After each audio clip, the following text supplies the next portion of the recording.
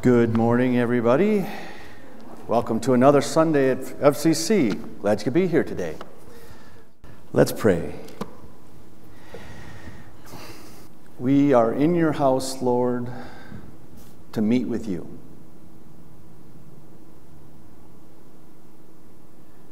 We thank you that you want to meet with us. We're come from all different walks of life and uh, challenges in life and experiences this week.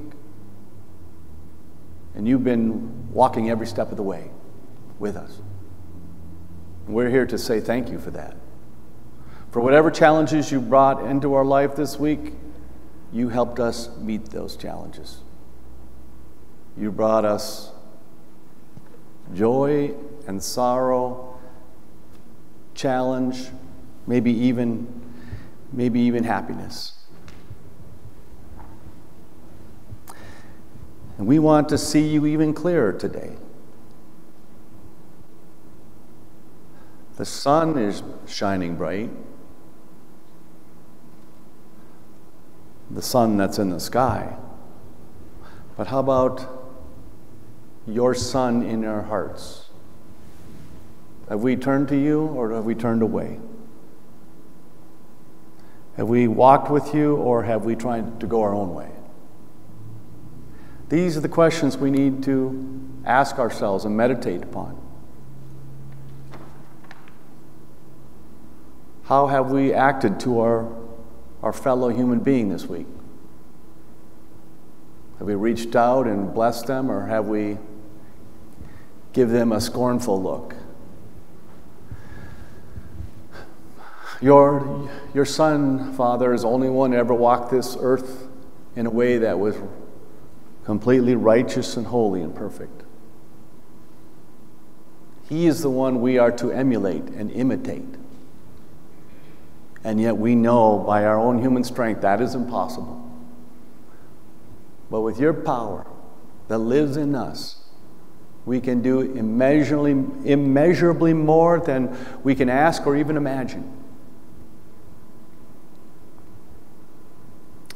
We are your humble servants today, Lord. We want to be we want to be the salt and light. We want to be your ambassadors. We want to be able to embrace others and bring them into the fold. And but we only do that if we can yield to your spirit. So, Lord, today as we get into your word a little bit, grant us understanding, grant us sight, spiritual sight.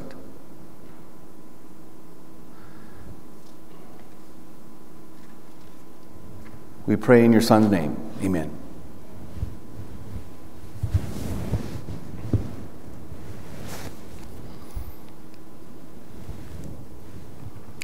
Joshua chapter 4. See, I'm, I'm feeling like I'm kind of echoing here, but I guess maybe it's just my microphone. When the whole nation had finished crossing the Jordan, the Lord said to Joshua, Choose 12 men from among the people, from one each tribe, one from each tribe. Tell them to take up 12 stones from the middle of the Jordan, from right where the priest stood, and to carry them over with you and put them down at the place where you stay tonight. So Joshua called together the 12 men he, he had appointed from the Israelites, one from each tribe, and he said, Go over before the ark of, your, of the Lord your God into the middle of the Jordan. Each of you to take up a stone on his shoulder, according to the number of tribes in Israel, to serve as a sign among you. In the future, when your children ask, What do these stones mean? Tell them that the flow of the Jordan was cut off before the ark of the covenant of the Lord. When it crossed the Jordan, the waters of the Jordan were cut off. These stones are to be a memorial for the people of Israel forever. So the Israelites did as jo- Joshua commanded them. They took 12 stones from the middle of the Jordan, according to the number of the tribes of Israelites, as the Lord had told Joshua, and they carried them over with them to their camp, where they put them down. Joshua set up the 12 stones that had been in the middle of the Jordan at the spot where the priests who carried the Ark of the Covenant had stood, and they, and they are there to this day. Well, as some of you may know, uh, the King family spent some time up in the Aleutian Islands. I don't know if you know where that's at, but it's off the coast of Alaska. It's part of Alaska, actually. But when I was up there in the Aleutian Islands, it didn't take me long to be there before I realized hey, this is the perfect climate for, uh, for growing tulips. Um, wet, misty, cold, foggy weather. Probably the same, same latitude on the map as, say, Holland. Not Holland, Michigan, but Holland, the, the country. And I thought to myself, what could be better than to bring a splash of color to this often dreary lang- landscape of Akutan? That's the name of the island we lived on, Akutan. Sounds like some sort of a prescription drug, doesn't it? But anyway. But where to plant the tulips? Where are we going to plant the tulips at? I decided the best place to plant them would be where the passerbyers could see. And uh, that would be the end of the driveway, right, uh, which intersected the only, only road in, on the whole island the driveway and the other road. And I thought, perfect, right there at the corner. People walk by there all the time. They would go into the village to, oh, just to get away from the seafood processing plant for a bit. But there was a big problem here, and that was there was a huge pile of rocks at that spot. This would mean it would be some, take some very hard work on my part, but I was not deterred. Whether it was raining, whether it was wet sunshine, I don't know what was going on outside, I began moving these rocks with all diligence. And some of the rocks turned out to be very large rocks. When it was completed, as I did all this, and I, it appeared that I didn't progress very far. I looked at it. All I, all I had was three tiny spots of land or little plots of ground bordered by a bunch of immovable boulders. that I decided I could not move. And I wrote this landscaping project off as something, you know, a complete failure. Ah, well, I gave it a, I gave it the old college try. But in the end, it was, looked like to me, a very dismal failure. But then, spring arrived. And we looked out there and we saw the most brilliant red and yellow tulips. They sprang forth. And many of the people who walked by, they said to themselves, wow, those are the prettiest tulips I've ever seen. And it did really stand out against the stark, the, the contrast, the bland contrast of the, the mud and the dry grass and stuff up there. Sometimes when we look around, to see where we should plant the seeds of the gospel, what do we see? We see hard, rocky soil. When we see this, we often become we become discouraged. We become somewhat intimidated by the fact. Sometimes we feel weak. Sometimes we feel feel useless. It's like, wow, you know, I mean, why isn't anybody responding? I felt all those feelings at one time and another when I looked out in my office window sometimes and I, I see the next generation passing by the window. How are we going to reach them? I ask myself. They don't seem to be too interested in what we, the church has to offer. Is it their fault? I guess in, at some level it is because the Bible says that nobody is each, each one of us is personally accountable and responsible before God. See Romans chapter 1 for that. But if they're not being reached, then we as a church must take some of that blame upon ourselves, hadn't we? Jesus said, Go into all the world and preach the good news to all creation. To all creation. Yes, that includes your your neighbor you may not get along with, maybe don't even know their name. That includes friends and strangers, high school students, even junior hires. They're people too, you know. I have to say that it was so easy when I was a Christian teacher to, to preach the gospel there because, quite frankly, they were a captive audience. They couldn't go anywhere. Every day I got to, to teach them about God's marvelous creation through science and math, and they couldn't run away. It was great. I liked that. But they were in what I call the spiritual greenhouse. The temperature and the humidity was fairly constant, helping these little sprouts get off to a good start. That was key. But now I'm not, I'm not in the spiritual greenhouse anymore. We're out here in the harsh, cold, sometimes, well, unforgiving world. So it's important for us. We got to do some spiritual landscaping. We all need to get out there and do some spiritual landscaping to prepare the soil for the harvest. And let's face it, that's difficult work. It means trying to move some pretty heavy stones, both in our lives and stones that might, find our, that might be just beyond our driveway.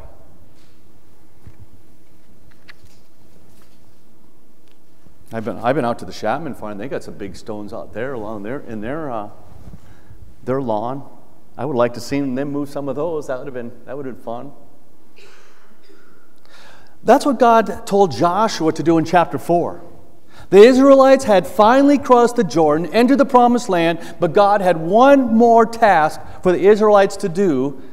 And he said, and God said to Joshua, Choose 12 men Take them from among the people, one from each tribe. Tell them to take up 12 stones from the middle of the Jordan, from right where the priest stood, to carry them over with you. Put them down in the place where you stay tonight.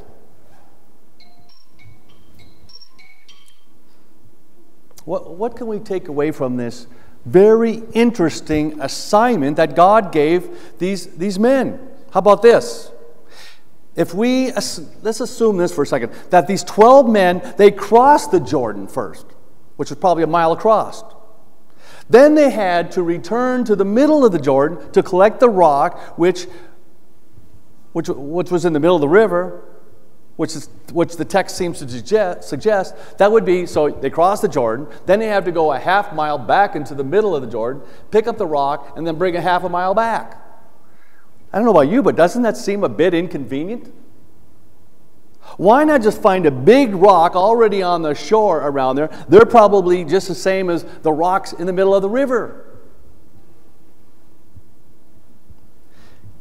Here's the interesting thing these men haven't spent one night in the promised land yet, and yet they're being called upon God to do a special service.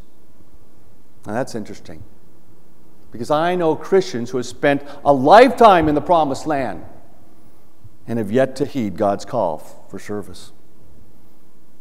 What's God calling you to do, but you keep putting Him off?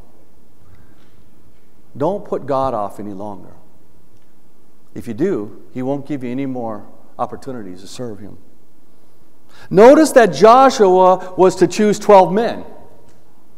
Do you think he just picked the first 12 men he saw and said, okay, hey, here's 12 you guys, go do what God said to do right now? What qualities do you think he looked for in men he chose? Obviously, he would choose men who were strong, right? Because Joshua said to them, Each of you is to take a stone and put it on his shoulder. Imagine for a moment you were one of those men along with the 11 others, you were chosen by your national leader to represent your entire tribe for a special mission for God. You. Now, let me, guys out there especially, do you really want to come back with the smallest stone of the 12? Can you imagine? Can, they're sitting around camp at night after that. Can you hear them now? Hey, let's compare the size of our rocks. Okay, that's that's the maturity of men, right? With hey, oh, whose rock's bigger?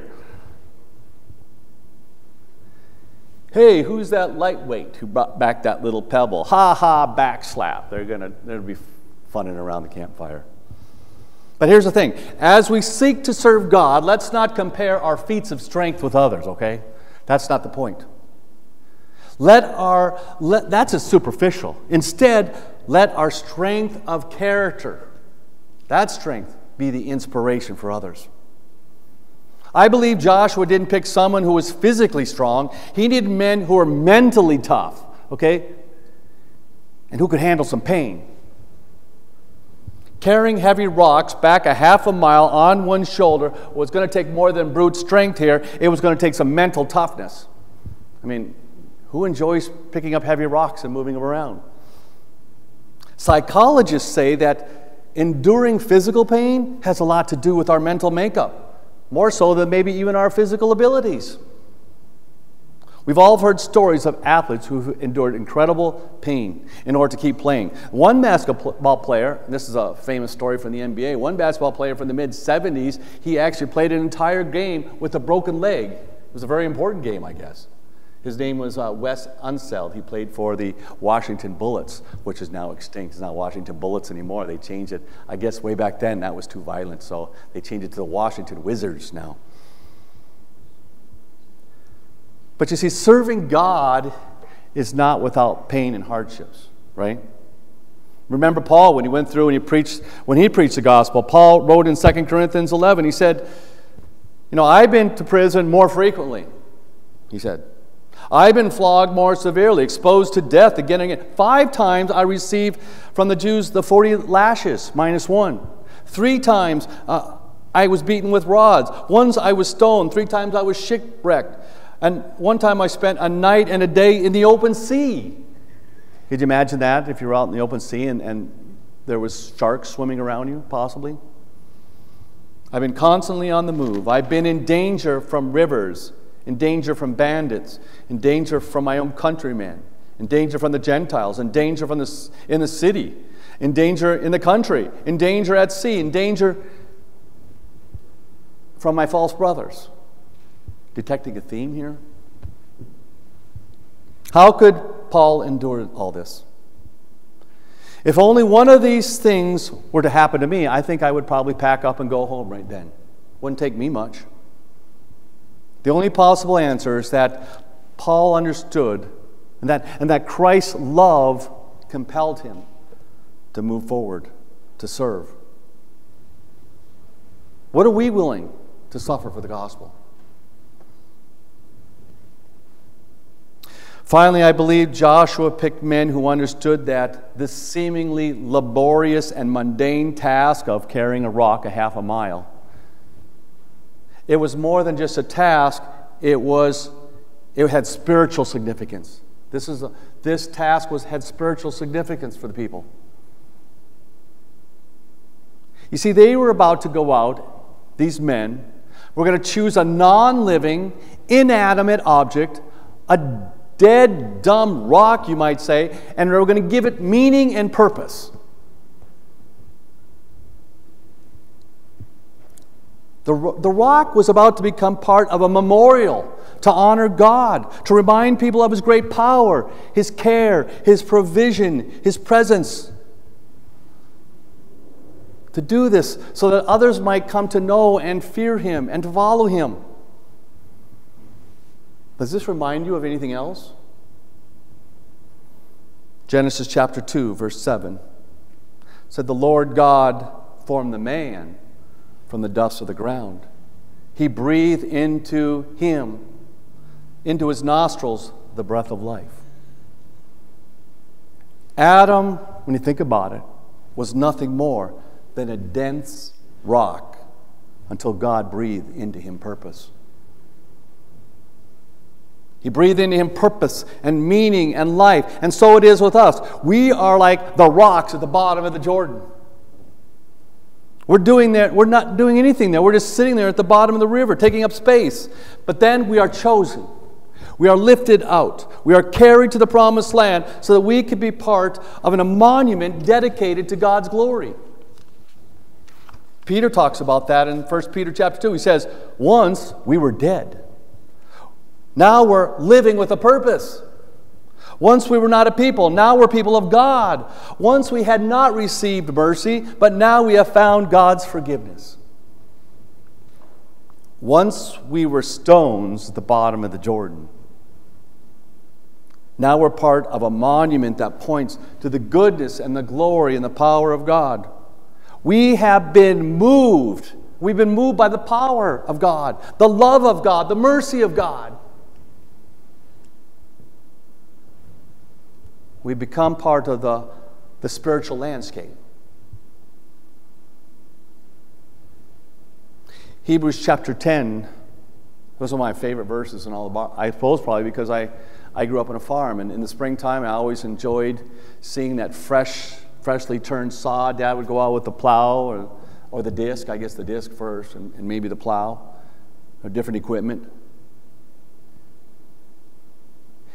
And so in Hebrews it says, sow for, sow for yourselves righteousness, reap the fruit of the unfailing love. But he says this break up your unplowed ground.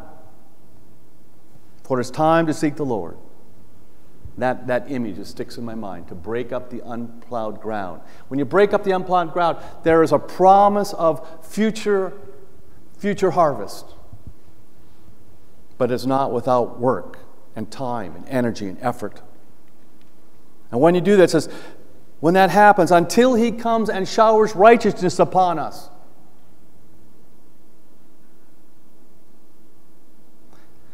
Well, the good news in all this is that the greatest work has already been done for us. Yeah, it's one thing to stand up here and say, you know, we need to, you know, pull ourselves up by the bootstraps and work. But it's not like we're, we're the first. We're not, we're, we're not the pioneers here, okay? We're just following in our Lord's footsteps. It was only two weeks ago that we gathered together and we celebrated the fact that another large boulder had been moved. Matthew writes, There was a violent earthquake. For an angel of the Lord came down from heaven, and going to the tomb, he rolled back the stone and he sat on it. Isn't that kind of, when you think about that, isn't it a comical, a comical picture? So I conclude with this point. God moved that stone for our sakes, not for his son's sake. I want you to think about that for a minute. Mary and Peter and John, they needed a direct line of sight into that tomb so that they could have firsthand knowledge of Jesus' resurrection. That's why God moved the stone. That's why the angel of God moved the stone. It wasn't so Jesus could walk out of the tomb. Jesus could pass through the tomb in any direction at any time he wanted to. But Mary and the disciples, they needed to see with their own eyes the wonder of all wonders so that they could and they would believe. Remember the famous hymn, and I it's the name of the hymn is It is Well With My Soul. The last verse starts out like this And the Lord haste the day, speaking the day of Christ's return, haste the day when my faith shall be sight. And the clouds, and the clouds will be rolled back like a scroll. When my faith shall be sight. Well, in a sense, the situation I'm speaking about, about the resurrection of Christ, about the, the rolling of the stone away from the tomb, that, that's just the opposite. When God's angel rolled the stone away, we are then given the opportunity to peer into the, the tomb's darkness, into the recesses of the tomb, and we find it empty. And then our sight becomes faith. God moved the stone for our sake, and we'll never forget because our sight, well, first it was Mary's sight, and then Peter and John and the other disciples, their sight, and through them, our sight. What we beheld with our eyes, or what we behold with our eyes, it transforms into faith. It transforms into a faith that what, what happens? It blooms, it blossoms, it into the splashy, colorful bouquet of hope. Just kind of I think about those tulips on Akutan Island.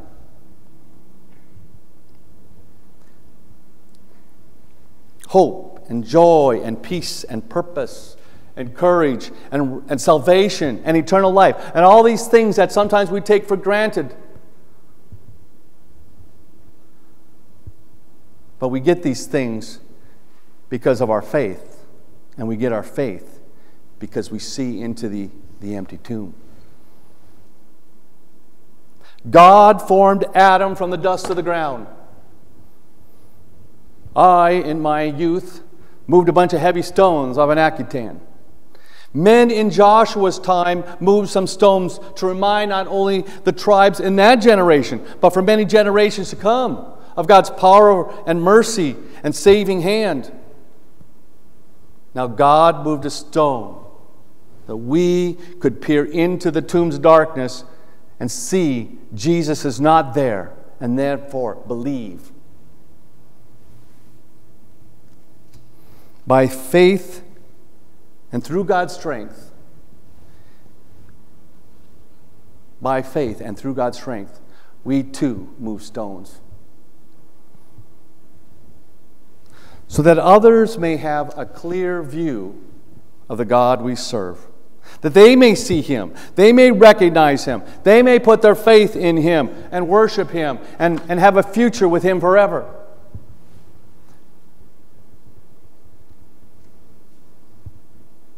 The Marys asked on that one Sunday morning, they said, Who will move the stone? Now we know the answer. God has, and God will, and we will too by the power of Christ's name. I leave you with these words from Ephesians. Now, to him who is able to do immeasurably more than all we ask or imagine, according to the power that is at work in us, to him be glory in the church and in Christ Jesus through all generations, forever and ever. Amen. May the Lord bless you and keep you. May his face shine upon you and give you his peace. In the name of Christ, we pray. Amen. Go in peace.